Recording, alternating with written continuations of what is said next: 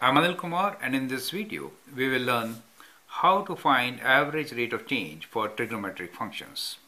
Question is, what is the average rate of change on the interval x greater than equal to pi less than equals to 4 pi by 3 for the function y equals to 4 sine x minus 7. As we know the average rate of change let's say like average rate of change is equals to the value of the function at point B minus value of function at point A, the x value, over B minus A. So that is what the formula is. So what we'll do is that we'll use calculator to find what is the value at pi, what is the value at 4 pi by 3, and then we'll use the formula and find average rate of change. So normally A is your lower limit and B is the higher limit.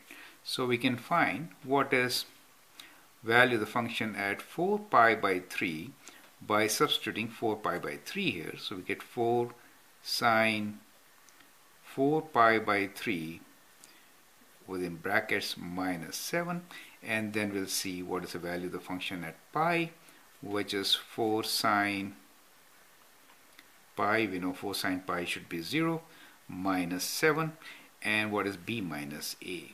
B minus a for us will be 4 pi by 3 minus pi, right?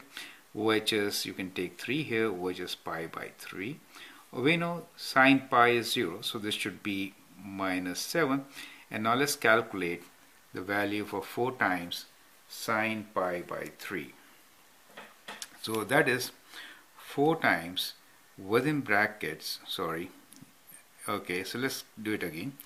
4 times sine of within brackets 4 pi is second function in my case divided by 3 bracket close equal to minus 7 equals to and then we'll write decimal value which is minus 10.4641 so it is minus 10.4641 so we have all the values and now we can substitute these values in the given equation I mean this formula and find the average rate of change.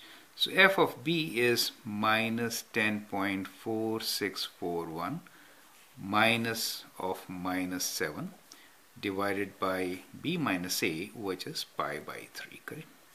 So let's use calculator again to figure out this answer we already have the first number minus 10.4641 so we'll add 7 to this equals 2 and we are going to divide it by within brackets by divided by 3 bracket close equals to so it says minus 3.3079 right? So that is approximately minus 3.30 3. So the instantaneous rate of change at this point is minus 3.3. So that is how you can calculate it. Thank you.